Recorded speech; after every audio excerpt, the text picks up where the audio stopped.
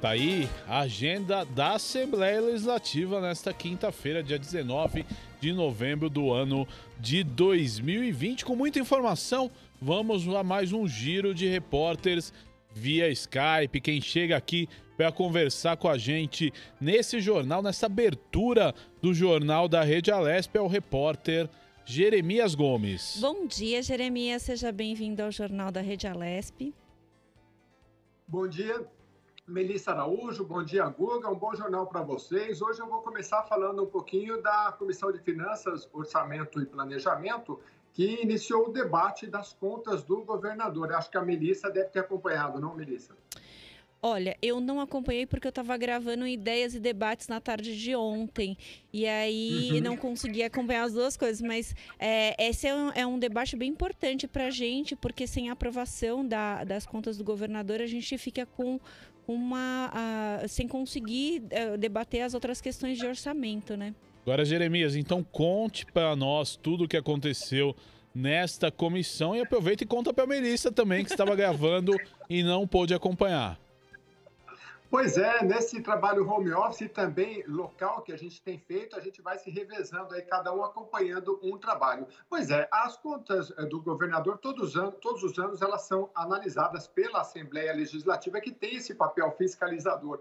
As contas do governador, assim que primeiro. É, é, a Assembleia faz, é, analisa o orçamento e depois que o orçamento é, é aprovado, né, durante a determinado ano, posteriormente a realização desse orçamento é é, analisada pela Assembleia Legislativa, ou seja, se os recursos previstos no orçamento para educação, saúde, enfim, para todas as áreas foram cumpridos é, conforme o determinado. Isso é a análise das contas do governador, no caso, nessa gestão do governador João Dória. Portanto, é, nesta quarta-feira, 18 do 11, é, teve início no auditório Paulo Kobayashi, né, a a Comissão de Finanças, Orçamento e Planejamento, presidida pelo deputado Wellington Moura, do Republicanos. Né?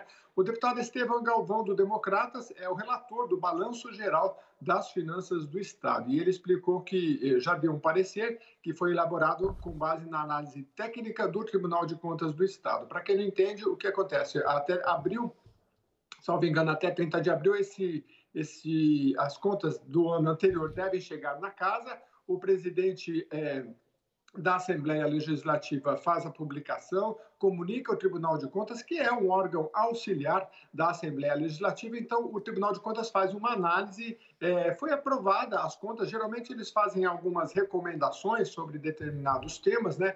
Então, este, é, estas contas vão para a Comissão de Finanças, Orçamento e Planejamento. Tem um prazo aí de 30 dias para ser analisado, né? Então, já tem o relator, que é o deputado Estevão Galvão, é, ele disse que o, o Tribunal de Contas é, destacou que o parecer do Tribunal de Contas foi pela aprovação, né? Então agora a análise, a análise é na Comissão de Finanças, Orçamento e Planejamento e também tem uma, uma, uma uma breve análise pela Comissão de Fiscalização e Controle. Né? Bom, o deputado Teodoro Barba, do Partido dos Trabalhadores, apresentou já um voto em separado né? e pediu itens, é, vista, do, vistas dos, dos, itens em discussão.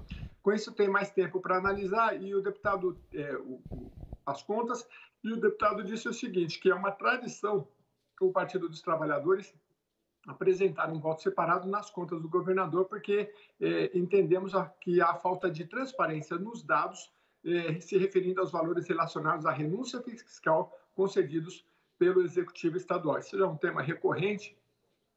O Partido dos Trabalhadores sempre apresenta essas questões, principalmente em relação à renúncia fiscal eh, de impostos, de tributos que o governo é, por meio de convênios, apresenta, é, coloca para determinados setores, determinadas empresas. Né? O delegado Olindo Progressistas foi escolhido pelo presidente da Comissão é, de Finanças, Orçamento e Planejamento, já aí um outro tema, né? Mas é, nesta reunião ele foi escolhido, então, para ser o relator do, da lei orçamentária, que é o projeto de lei 627 de 2020, que estima as receitas e estabelece as despesas do Estado para o próximo ano. Portanto, tramitando na Comissão de Finanças, tanto as contas do governador, que tem 30 dias de prazo, começou, portanto, dia 18, e aí é, vai ser elaborado um projeto de decreto legislativo aí depois que é aprovado no plenário Juscelino Kubitschek. E também tramitando a lei orçamentária, que entrou dia 9 de dezembro, também tem 30 dias aí para ser apreciada pela Comissão de Finanças, Orçamento e Planejamento. A gente tem acompanhado aí todos esses detalhes.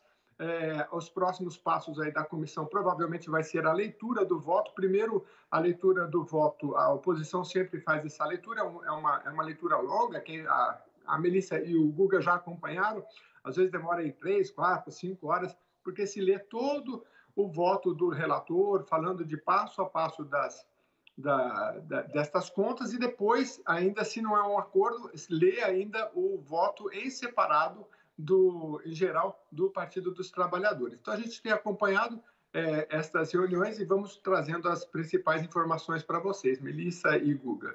É, é, interessante isso, essa informação que você trouxe para a gente, né, Jeremias? Porque as relatorias determinam aí, uh, digamos assim, um resumo dos projetos, desses projetos que são importantes. Uh, e aí os, de, os deputados vão com com, como você explicou, com o relator ou com um voto em separado, né? A gente lembra, por exemplo, que a peça orçamentária tem mais de 1.400 páginas. Então, o relatório geralmente é bem, é bem completo, bem complexo e por isso tem bastante informação e, e é, é, é árdua a leitura de muitas sessões a leitura, né?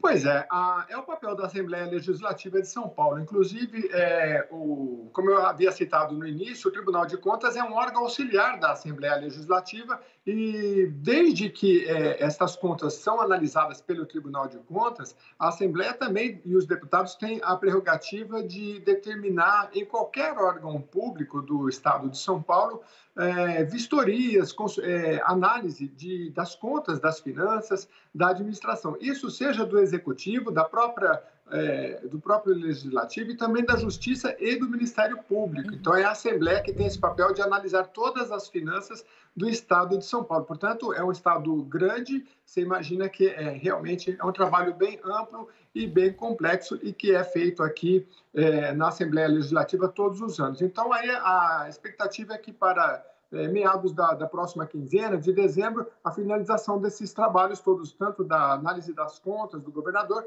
quanto do orçamento, que tem aí mais de 10 mil emendas, né? o orçamento do Estado de São Paulo, que é, eu até havia trazido na, na outra intervenção, deixa eu ver se eu acho aqui, 240 e 246 bilhões de reais, um, é, que tem um déficit é, neste ano para previsto para 2021.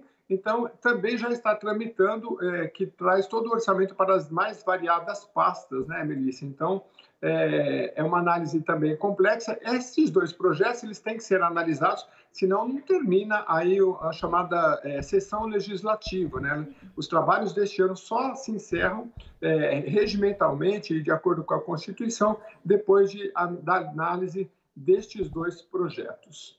Bom, acho que as novidades por essa semana são essas. É, nós tivemos também, só para comentar rapidamente, eu acho que vocês também devem comentar na programação, a CPI das quarteirizações, né, que recebeu o representante regional da CONAP. Né?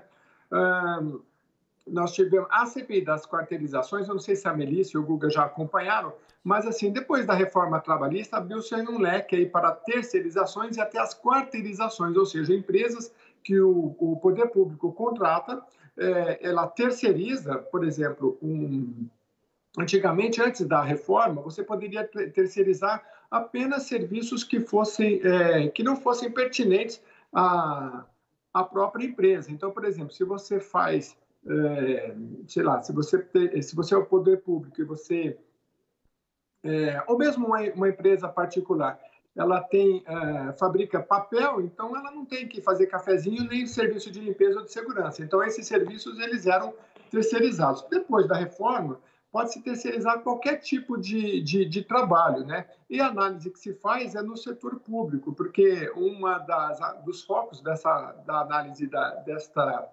desta CPI é as são as OS, né? Que prestadas prestação de serviço, principalmente na, na área da saúde. Então, uma boa parte da, da prestação de saúde não só no estado de São Paulo, mas no Brasil, é por meio dessas organizações sociais. Né? Então, ela foi um, um dos focos da, da última reunião. Acho que vocês vão trazer aí também, é, explicando aí, né? eles receberam, é, deixa eu só atualizar aqui, em ambiente virtual, Marcelo Freire Sampaio Costa, que é representante regional da Coordenadoria Nacional de Combate a Irregularidades Trabalhistas na Administração Pública, a CONAP. E aí ele falou bastante sobre o trabalho é, realizado nessa comissão. Eu vou encerrando por aqui é, e eu deixo com vocês aí os detalhes para esta comissão. Obrigado pela, pela intervenção aí concedida. Obrigada, Jeremias. Bom dia para você. Obrigada pelas informações.